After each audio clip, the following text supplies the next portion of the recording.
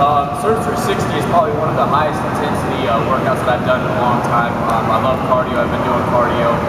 Um, this is extremely demanding